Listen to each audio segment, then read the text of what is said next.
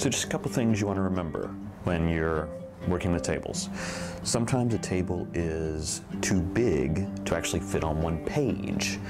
So students ask me, well, is it okay to have it on two pages as long as you keep the same headings? Well, if a table is that big, if you're trying to get that much information across, it might be better to actually break it into two separate tables. If there's that much information, we're probably not going to be able to see it all in one table. So break it up. Think logically, how can it be broken up? And put it into two different tables. They would have different columns, different rows.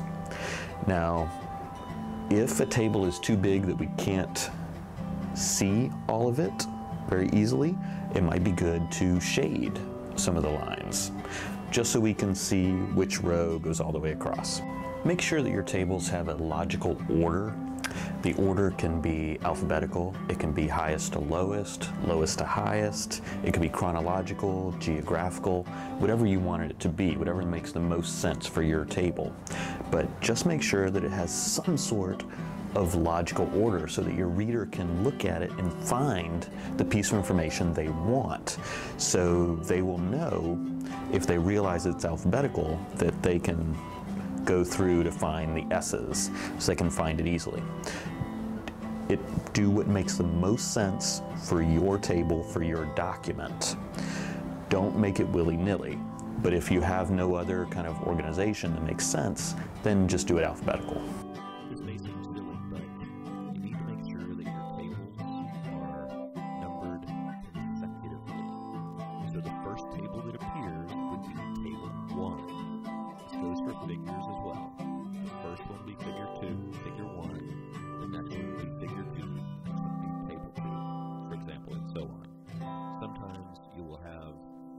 Numbers by section.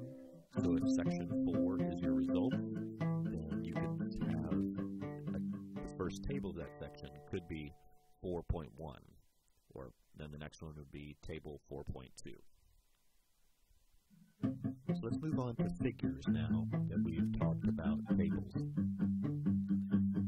Like we said before, sometimes it makes more sense to choose a table, sometimes it makes more sense to choose a chart, figure can show trends,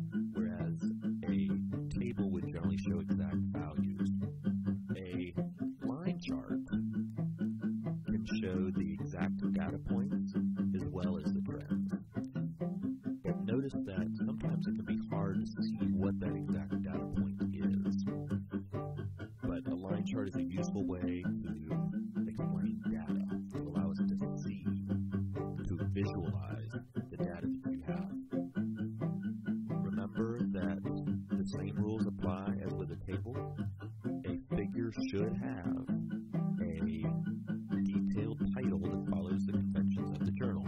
It's always labeled beneath the figure.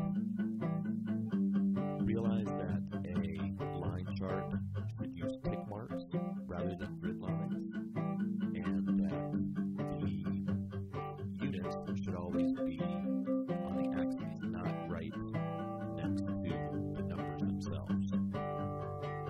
All axes should be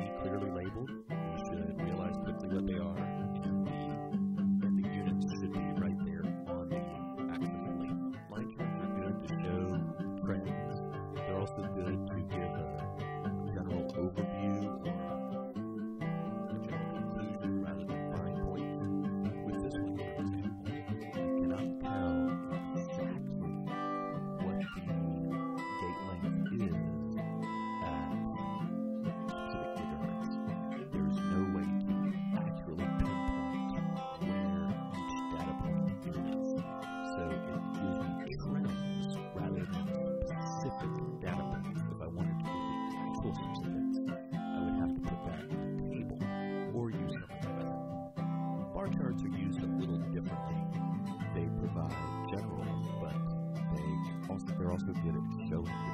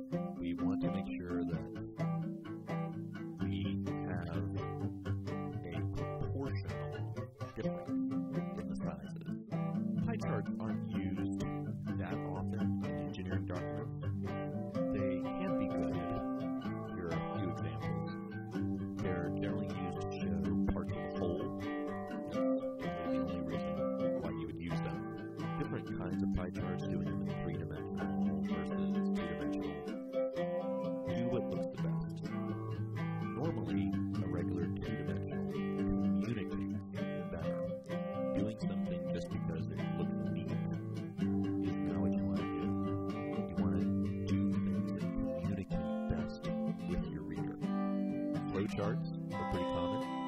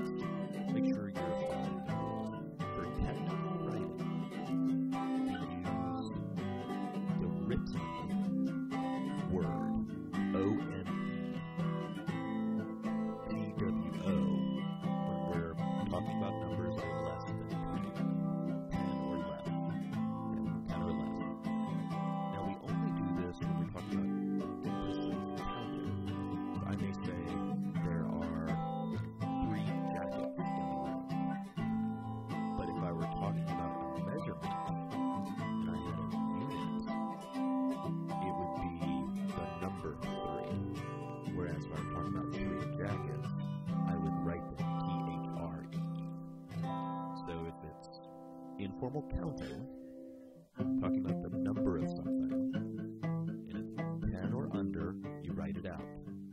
If it's anything more than that, you use the actual number. 1, 2, there are some exceptions.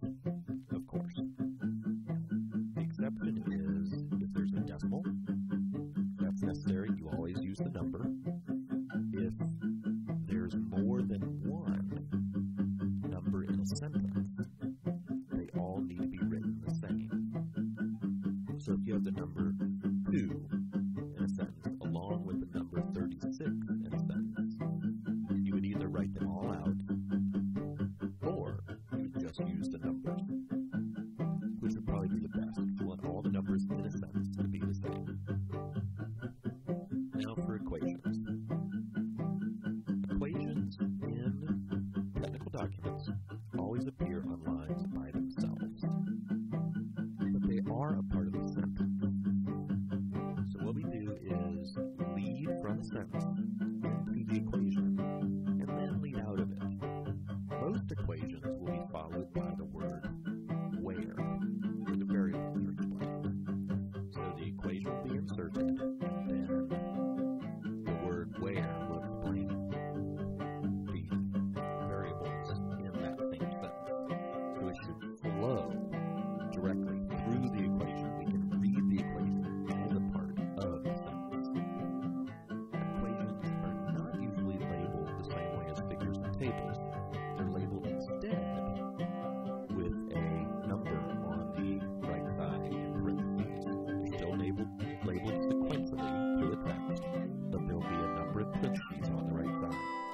any of your science or engineering textbooks that have equations, and they'll generally be done this way.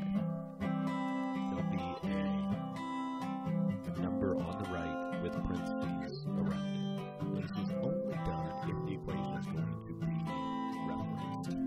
Sometimes there won't be a number in parentheses if the equation is not going to be discussed again. Sometimes there will be one, even if it's not discussed but it makes it easier to refer to it, so you don't have to repeat the equation. It's just uh, as was explained in equation 2,